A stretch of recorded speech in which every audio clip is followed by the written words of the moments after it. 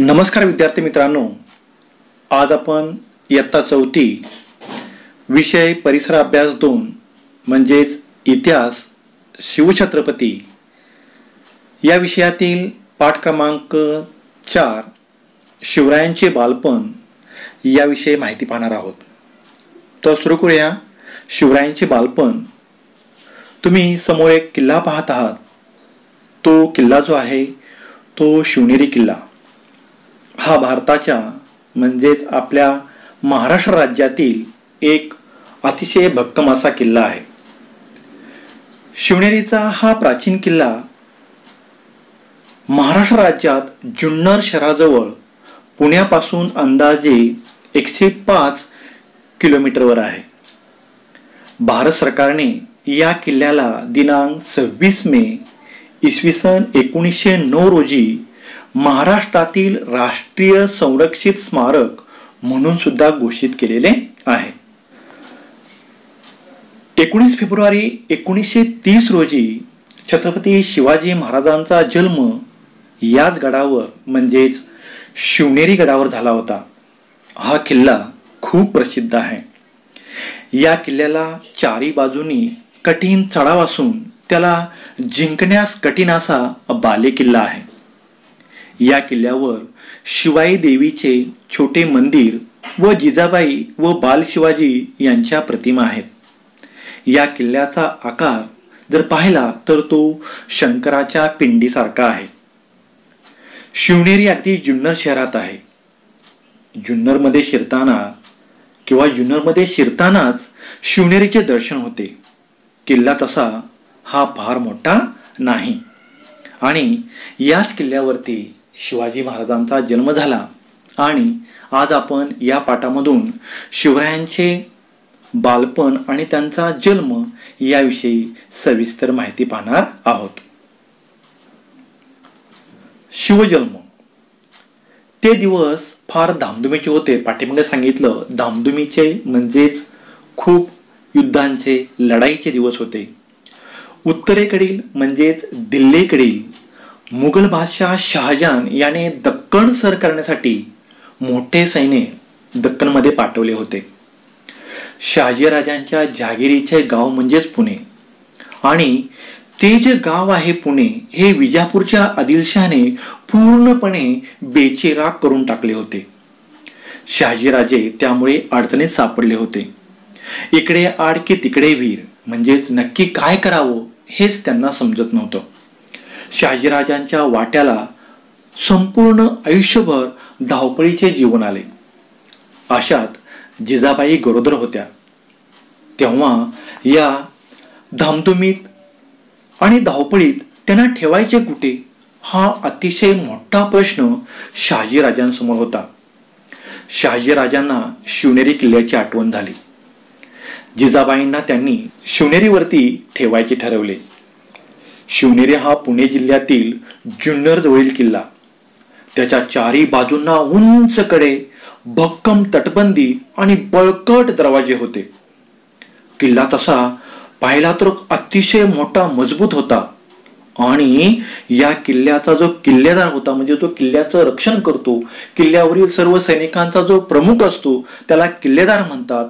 आणि तो किल्लेदार विजयराज होता. आणि तो भोसल्यांच्या नात्यातलाच होता. जिजाबाईंच्या रक्षणाची जबाबदारी त्या विजयराजने स्वतः स्वीकारली. तेव्हा शहाजीराजांनी जिजाबाईंना शिवनेरीवर ठेवले व ते मुघलांवरती कारण उत्तरेकडील मुघलाने दख्खन काबीज करण्यासाठी दख्खनवरती स्वारी केलेली आहे. आणि त्यात जिजाबाई गरोदर होत्या त्यामुळे त्यांना सर्वप्रथम सुरक्षित ठिकाणी ठेवणे शहाजीराजांना महत्वाचं होतं.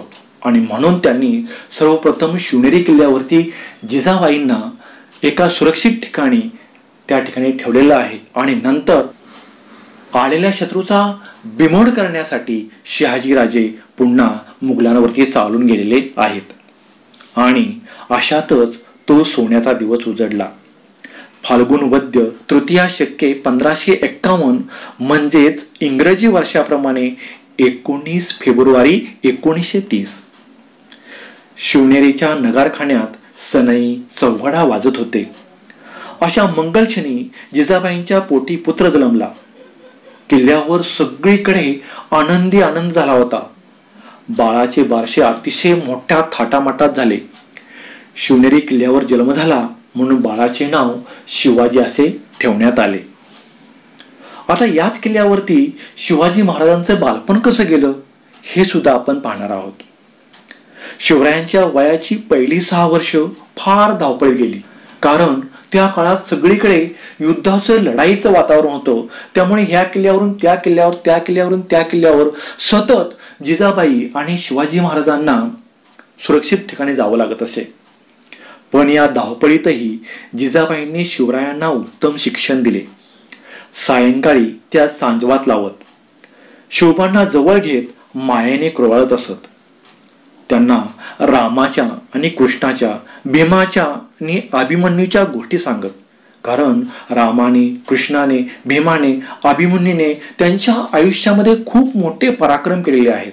आणि अशा पराक्रम वीर असलेल्या वीर पुरुषांच्या कथा जिजाबाई नेहमी शिवरायांना सांगत असत.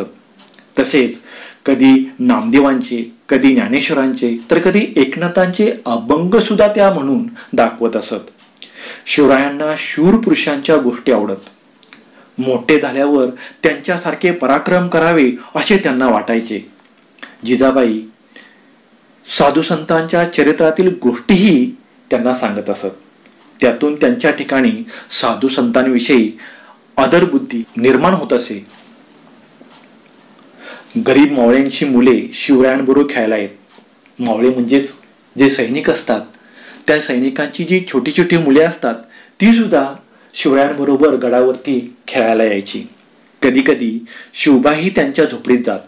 त्यांची कांदा भाकरी आवडीने खात. म्हणजेच ते मी मोठा राजा आहे. किंवा मी मोठ्या सरदाराचा मुलगा आहे म्हणून मी या गरिबांकडे कसं जाऊ?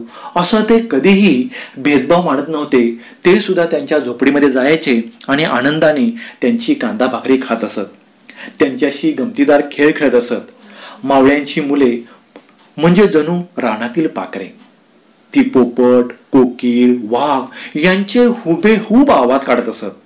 मातीचे हत्ती व घोडे बनवणे मातीचे किल्ले रचणे हे त्या मावळ्यांच्या मुलांचे छंदच होते.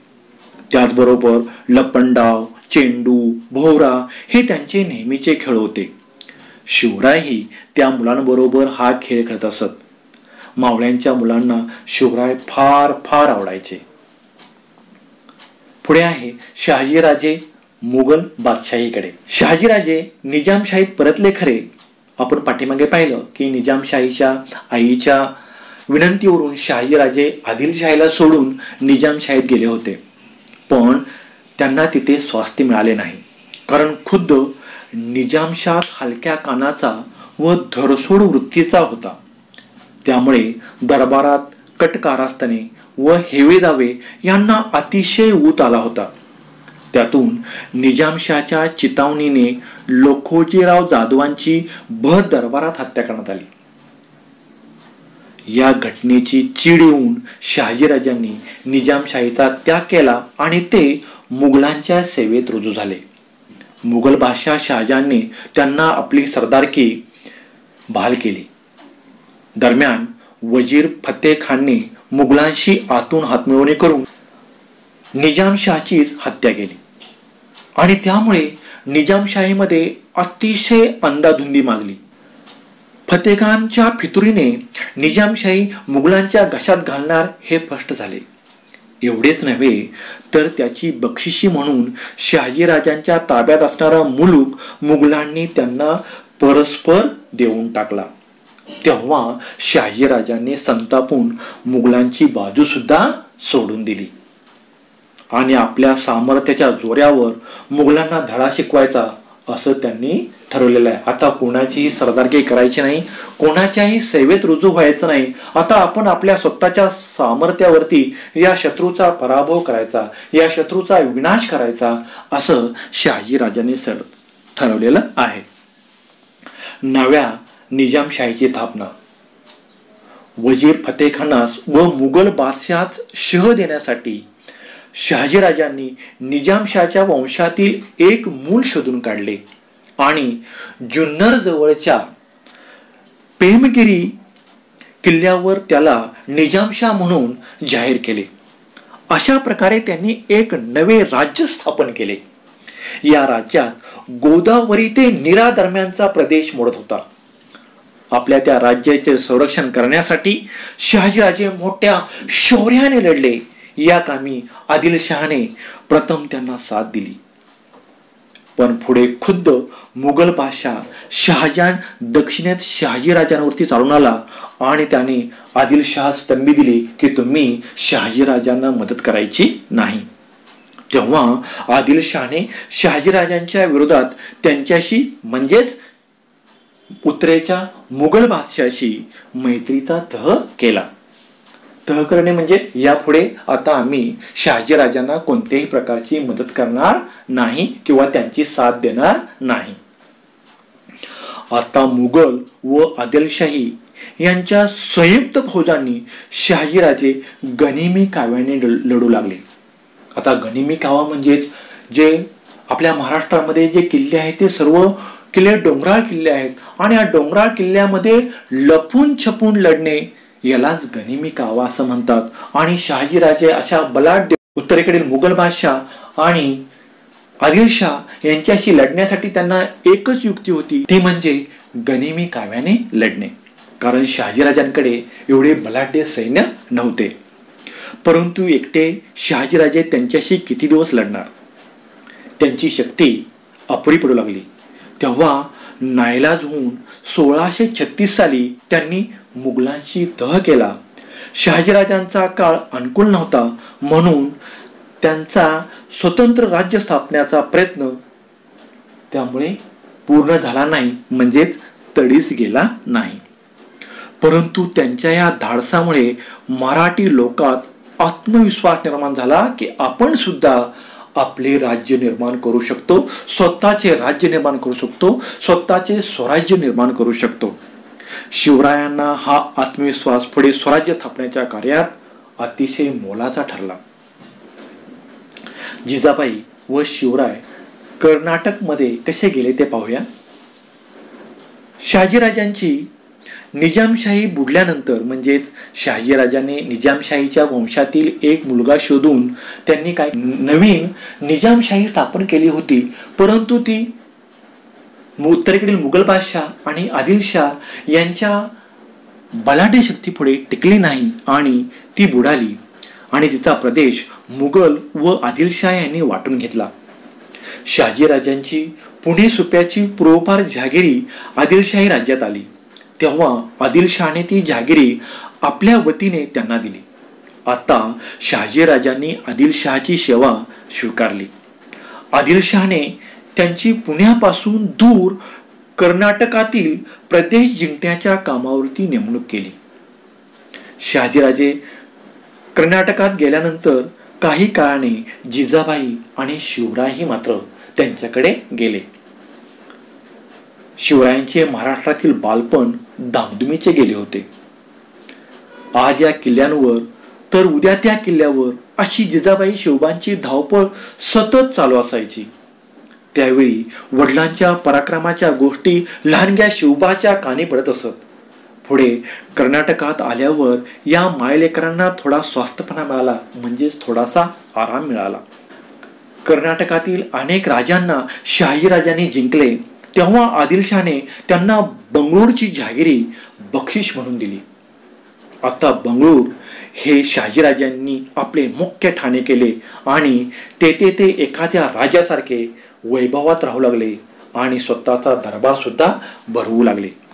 अशा तऱ्हेने विद्यार्थी मित्रांनो आपण या पाठामध्ये छत्रपती शिवाजी महाराजांचा जन्म आणि त्याचबरोबर त्यांचं बालपण कसं धावपळीत गेलं याविषयी सविस्तर माहिती पाहिलेली आहे. यानंतर या पाठावरील स्वाध्याय कृती पुढे देत आहे. ती तुम्ही पहा वाचा आणि तुमच्या वहीमध्ये व्यवस्थित लिहा. त्याचबरोबर